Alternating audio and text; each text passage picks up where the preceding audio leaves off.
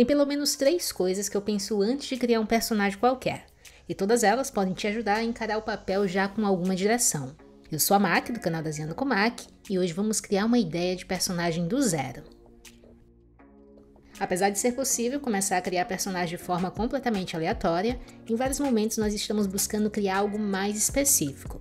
Para isso, nós vamos definir um ponto de partida com algumas informações sobre esse personagem que a gente está tentando criar, antes mesmo de colocar qualquer traço no papel. Nós chamamos essas informações ou instruções de como o personagem deve ser de briefing.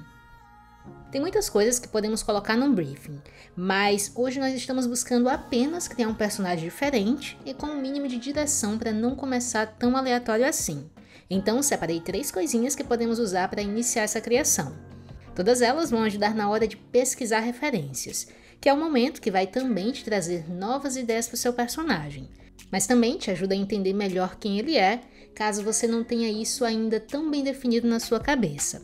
Só como exemplo, eu poderia começar pensando numa função, como professor, e isso já me dá a possibilidade de expansão da ideia se eu me perguntar que tipo de professor ele é, como ele age quando ele está exercendo essa função, ou me perguntar também professor do quê.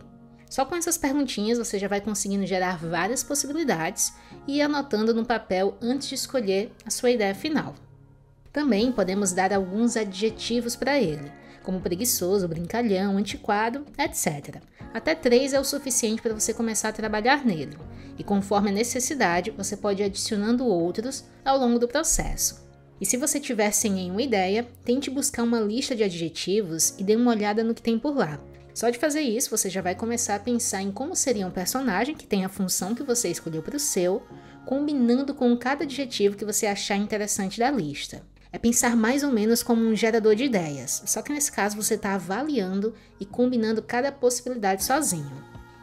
O legal dos adjetivos é que eles te ajudam a definir mais a personalidade do personagem e vai ser importante quando você for criar poses ou escolher o visual que ele vai ter. Por exemplo, se ele é um personagem mais desleixado, a roupa dele pode estar suja, amarrotada ou o cabelo assanhado também. E se ele é um personagem mais agressivo, as poses ou a postura dele também pode refletir isso, né? Ser uma pose um pouco mais forte.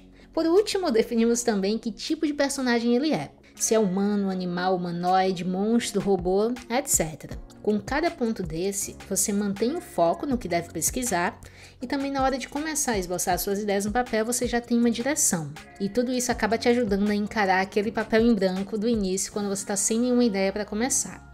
E aí, com cada ponto desse estabelecido, você acaba mantendo mais o foco no que você deve pesquisar e também te ajuda na hora de começar a esboçar suas ideias para o papel. No final, resumindo em uma frase, mas com todos os pontos anotados, como no mapa mental, que é como eu visualizo melhor, o meu ficou assim: um diretor técnico, besouro, com um aspecto sombrio que trabalha em um laboratório.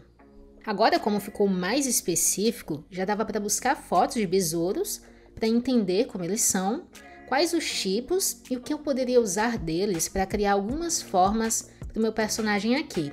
Também deu para buscar coisas relacionadas ao laboratório, ver, por exemplo, que tipo de coisas os funcionários usam para trabalhar nesse ambiente. E como adjetivo sombrio, deu para pensar em detalhes para o rosto que tornassem ele mais sombrio.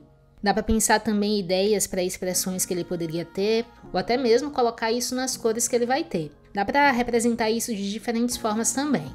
Apenas com essa ideia de besouro que trabalha no laboratório, já daria para pensar em vários personagens que trabalham no mesmo ambiente com esse diretor, e a partir daí a ideia pode ir expandindo. Como tinha vários tipos de besouros quando eu fui pesquisar, só de ver as formas que eles tinham me trouxe alguma inspiração para combinar formatos diferentes e pensar também em personalidades novas para cada funcionário do laboratório. E com apenas uma primeira tentativa, como você vai combinando várias possibilidades, você acaba gerando ainda mais ideias para não ficar sem saber para onde ir. Bom, essas são algumas coisas que eu tento pensar quando eu estou sem ideias, mas querendo criar alguma coisa diferente também. E com isso aqui, com certeza dá para até criar um mini projetinho se você quiser. Quem sabe eu não faça isso para trazer um outro vídeo mais para frente, para a gente ver isso acontecendo na prática. Deixa aquele like pra gente se você curtiu o vídeo, isso ajuda muito você a receber novas notificações e YouTube recomendar o canal para outras pessoas também. E se ainda não for um aprendiz, se inscreva. Até mais, aprendiz!